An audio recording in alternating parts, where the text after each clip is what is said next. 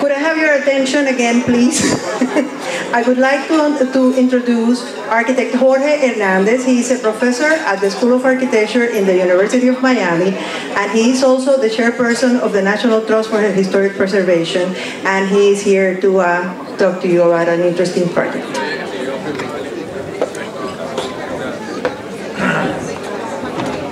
Good afternoon. It's a pleasure to be here with you. Um, I will just take a second to say how I, it is that I came to know about this event and how I came to know Carmen. I sit on the State Historic Marker Review Committee, so we designate sites important to the history of the state of Florida. And the applications for the three sites having to do with Pedro Pan came before me because Carmen and her group submitted the application. So it was for Matacumbe, for Florida City, and the third site was which one, Carmen? Matacumbe, Florida City, and, and, and downtown, right. and so um, I, I, started to um, touch base with her and came to know of this group. I'm very pleased to be here. It's a it's an honor for me to be here with you. I am Celdo Pedro Pan, which means I was five years old when I left, and my mother uh, left with me. So but she was not allowed to leave the island, and I was not allowed to leave the island. But we left because Polita Grau made uh, falsified documents for us. So for that reason, I'm Celdo Pedro Pan.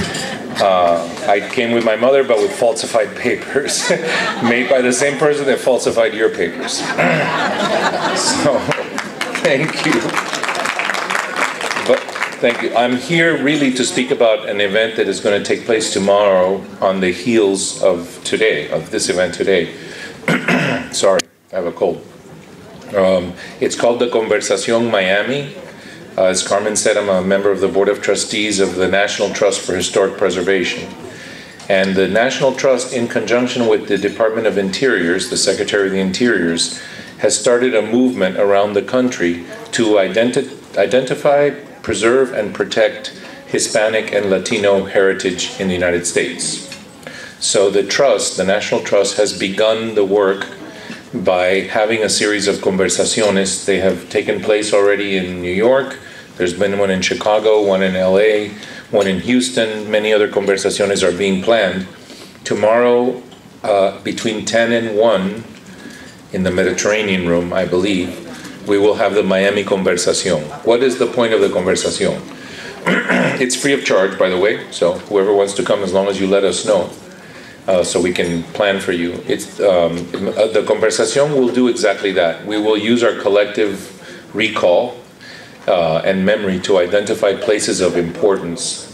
Uh, lists will be made, and then someone from Washington, Tanya Bowers and John Hildreth, two members of the trust, will start to talk about uh, the types of resources that we come up with when we make our list and how these resources might enter into categories of preservation so that they can start ascending into the legal system for protecting heritage sites in this country.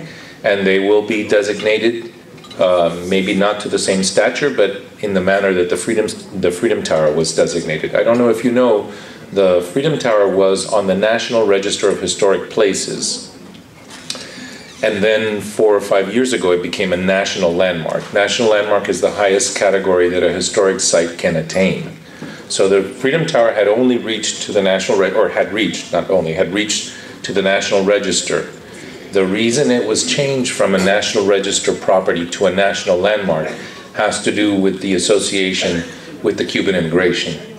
So had the had the Freedom Tower not been the singular site in, associated with the early immigrant period of the Cuban immigration, it would not have been elevated to national landmark status. Um, so uh, that will be important work. It's the beginning of a large amount of work that I hope to stay involved in, and I hope that we can keep all of you involved with. Uh, tomorrow will be the kickoff. The conversación is a kickoff, but there's a lot of work to be done, and uh, this, the reason I'm very proud to be here and I'm very happy to be doing this work is that I think that uh, for I know that many of you don't live in Miami, but there's there will be a chapter of the exile period, which now that chapter is 50 years old, and therefore it's approximately half of the lifetime of the history of Miami. We have been here for half of the time that the city has existed because Miami was founded in 1896, so almost half. So for me, it's very important that at some future time, when Cuba is free again and when we are one people again, that we not forget the chapter uh, on this side of the straits. So that's why I'm involved in this. Anyway, I welcome you to the conversación. Thank you. It's a pleasure to be with you here today.